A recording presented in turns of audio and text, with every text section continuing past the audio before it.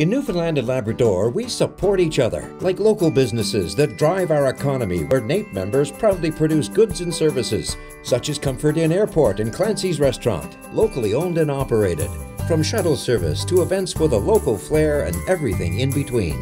And Safety NL, providing driver education and other safety programs for 60 years, keeping people safe at home, at work, and on the road.